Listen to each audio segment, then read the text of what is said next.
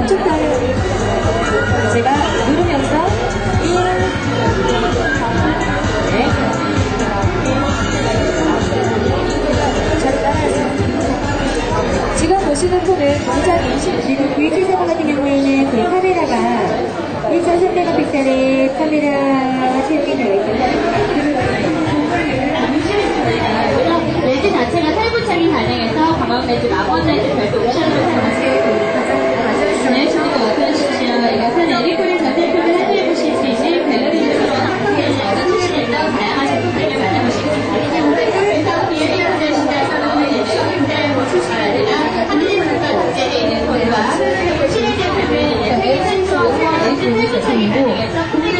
リラックス、